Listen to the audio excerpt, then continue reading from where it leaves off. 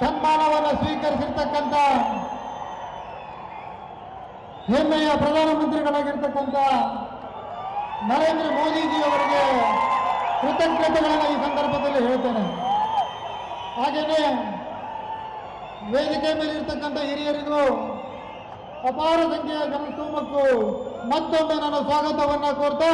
ನನ್ನ ಸ್ವಾಗತ ಭಾಷಣವನ್ನು ಮುಗಿಸ್ತಾ ಇದ್ದೇನೆ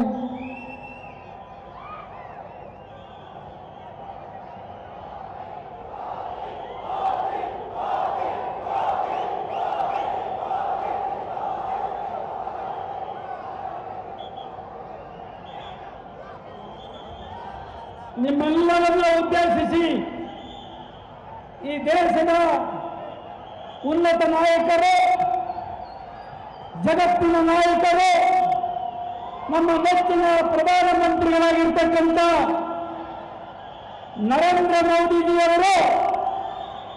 ನಿಮ್ಮೆಲ್ಲರನ್ನ ಉದ್ದೇಶಿಸಿ ನರೇಂದ್ರ ಮೋದಿಜಿಯವರು ಮಾತಾಡಬೇಕಂತೇಳಿ ವಿನಂತಿ ಕರ್ತಾನೆ